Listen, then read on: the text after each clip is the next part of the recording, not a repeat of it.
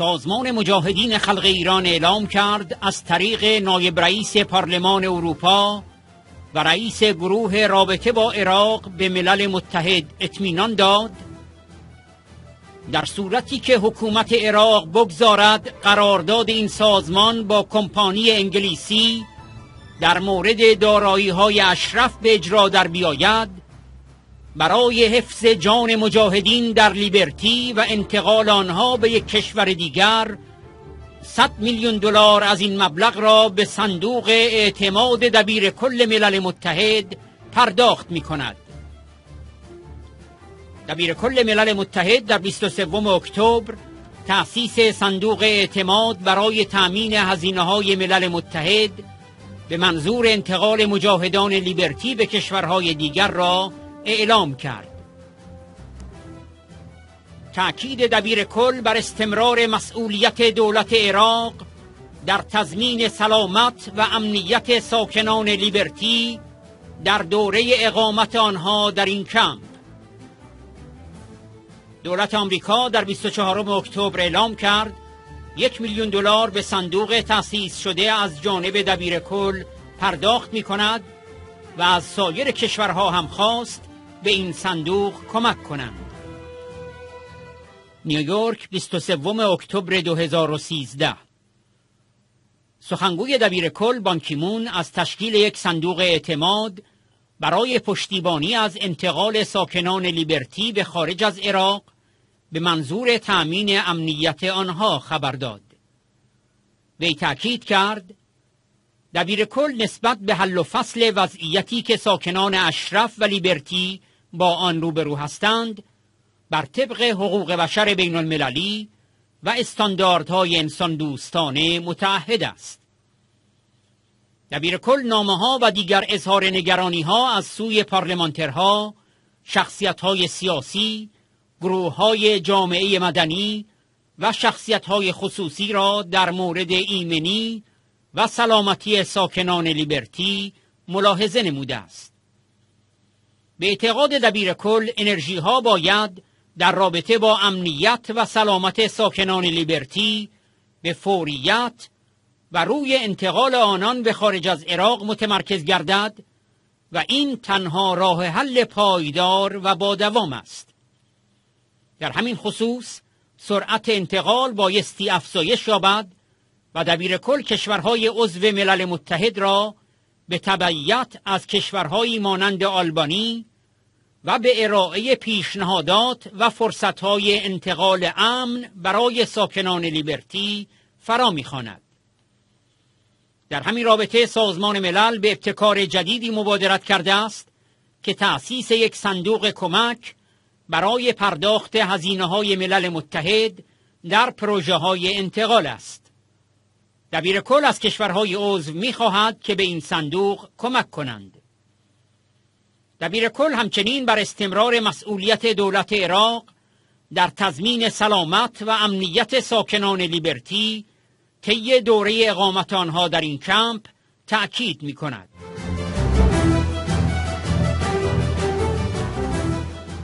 وزارت خارجه آمریکا در روز 24 اکتبر دوم آبان 1392 از جانب دولت آمریکا یک کمک یک میلیون دلاری را به صندوق پیشنهاد شده از سوی دبیر کل بانکیمون اعلام کرد.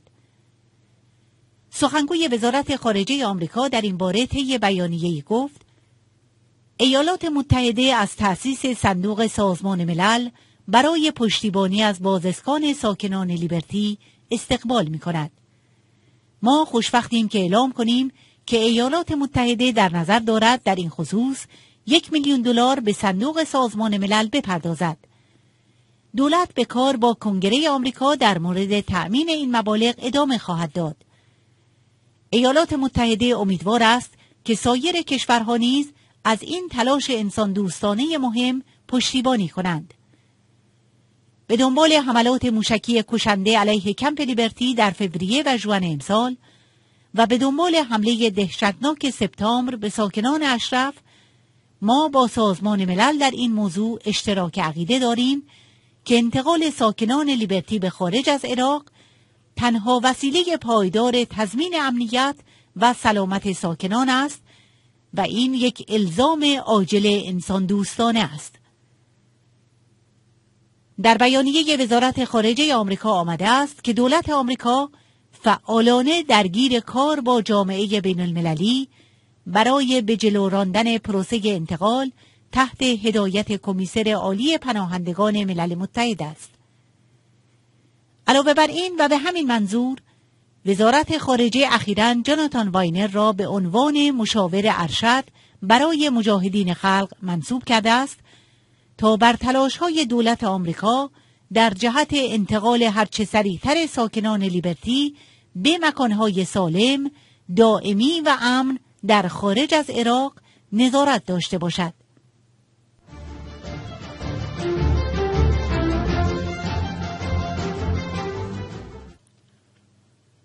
نامه مشترک به دبیر کل ملل متحد از سوی رئیس کمیته بین المللی در جستجوی عدالت از جانب چهار هزار پارلمانتر و رئیس گروه رابطه با عراق در پارلمان اروپا. 28 اکتبر 2013 آقای دبیر کل عزیز در روز اول سپتامبر نیروهای عراقی 52 تن را با دست بسته در اشرف اعدام دویست نقطه را منفجر و هفت تن را به گروگان گرفتند. حدود سه هزار تن پناهجو و پناهنده های ثبت شده دیگر در کمپ لیبرتی در معرض خطر قرار دارند. ملل متحد بارها در قبال امنیت و سلامت همه قربانیان و ساکنان لیبرتی متعهد شده است همه این افراد به گواهی کمیساریای عالی پناهندگان ملل متحد پناهنده یا پناهجو و افراد مورد نگرانی هستند و در همان حال حفاظت شده تحت کنوانسیون چهارم ژنو می باشند. معاون سیاسی شما بار دیگر از کمپ لیبرتی به عنوان یک محل موقت ترانزیت اسم برده است.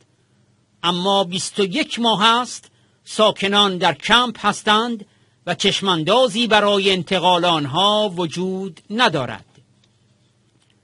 این کمپ نه موقت است و نه ترانزیت بلکه طبق دو گزارش گروه کار بازداشت های خودسرانی ملل متحد در 2012 یک زندان است البته شرایط آن در 2013 از هر نظر خطرناکتر شده و هدف سه بار حمله موشکی قرار گرفته که ده تن کشته و 170 تن مجروح شدند به رغم قولهای متعدد از جمله طرح پنجم سپتامبر 2013 ملل متحد دولت عراق از تامین الزامات حداقل امنیتی لیبرتی جلوگیری می کند.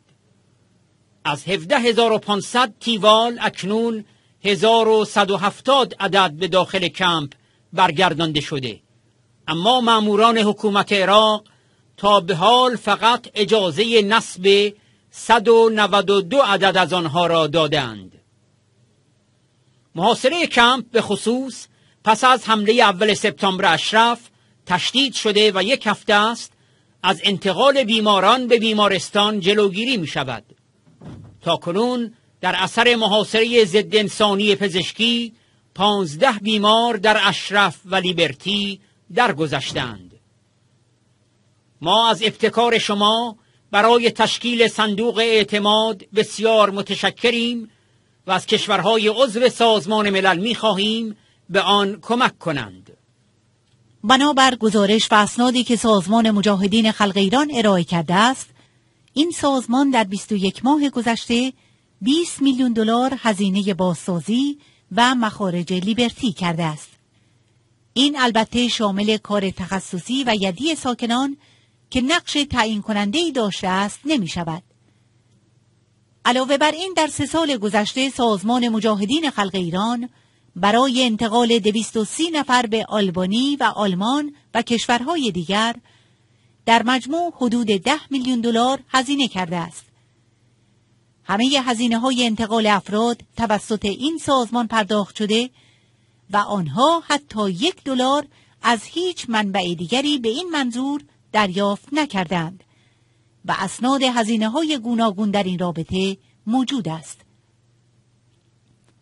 اکنون سازمان مجاهدین خلق ایران با تشکر از ابتکار شما در تأسیس یک صندوق جدید که برای پرداخت هزینه های اخص سازمان ملل در پروژه های انتقال ایجاد شده و با تشکر از پرداخت یک میلیون دلار از جانب ایالات متحده به صندوق سازمان ملل در همین خصوص به طور رسمی به ما اطمینان داده است چنانچه دولت عراق مانع اجرای قرارداد این سازمان با کمپانی انگلیسی در مورد فروش اموال و دارایی های اشرف نشود از همین محل به خاطر حفظ جان و امنیت ساکنان لیبرتی 100 میلیون دلار به صندوق ابتکاری دبیر کل برای پشتیبانی از انتقال و بازسکان ساکنان می‌پردازد.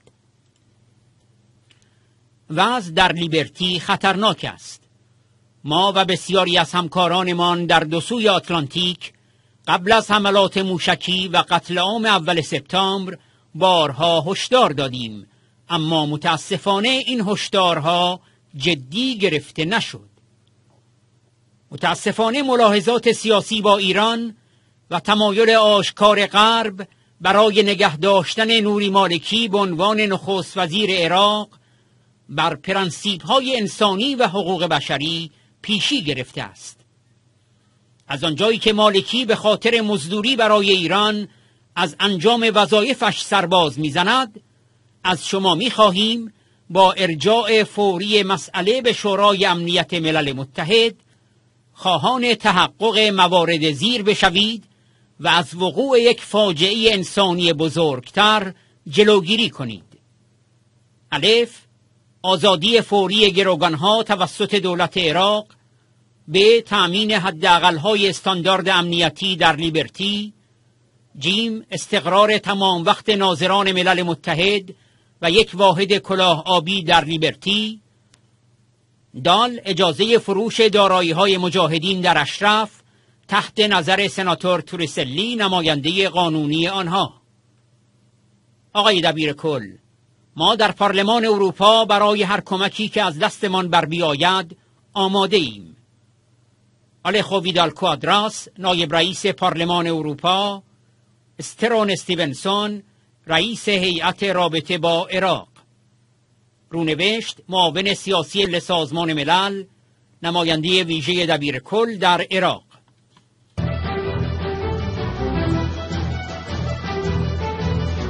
سازمان مجاهدین خلق ایران امروز در همین خصوص مجددا با تشکر از ابتکار دبیر کل و کمک یک میلیون دلاری ایالات متحده به سازمان ملل که البته صرف هزینه ها و کارکنان ملل متحد می شود آمادگی خود را برای پرداخت 100 میلیون دلار از محل فروش اموال و دارایی های اشرف به صندوق اعتمادی که دبیر کل برای تأمین هزینه های سازمان ملل و کارکنانش تأسیس کرده است مورد تأکید قرار داد.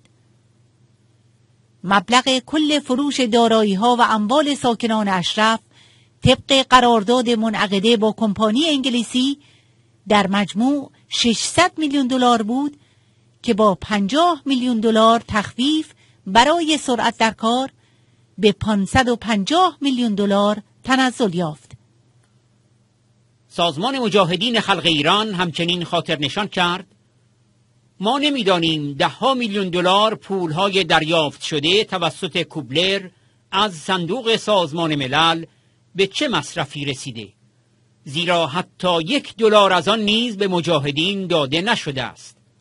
سازمان مجاهدین از دبیر کل و دولت آمریکا خواست حکومت عراق را وادار کنند طبق طرح پنجم سپتامبر 2013 سازمان ملل که دولت عراق آن را پذیرفته بود و مبنای انتقال 42 تن مجاهدان باقی مانده در اشرف به لیبرتی قرار گرفت به تعهد خود در مورد فروش دارایی ها و اموال اشرف عمل کند و از هر گونه کارشکنی و ممانعت در این زمینه دست بردارد در طرح سازمان ملل که مورد تایید دولت آمریکا و حکومت عراق قرار گرفته بود به وضوح خاطر نشان شده است که حکومت عراق میپذیرد که ساکنان می توانند در هر زمان به فروش ممتلکات خود مبادرت کنند.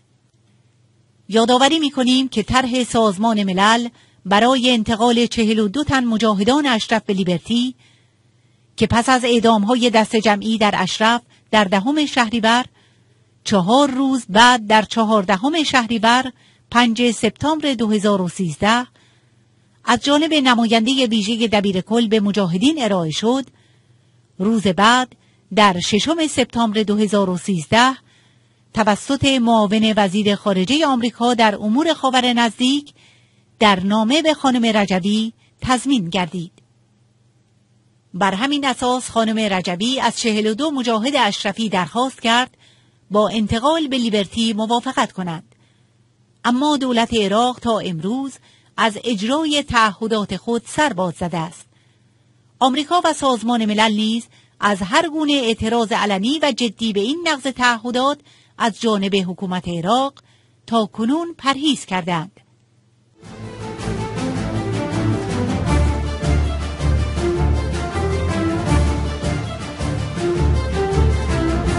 طرح سازمان ملل با توافق دولت‌های آمریکا و عراق برای انتقال 42 مجاهد اشرفی به لیبرتی پنجم سپتامبر 2013 چهاردهم شهریور 1392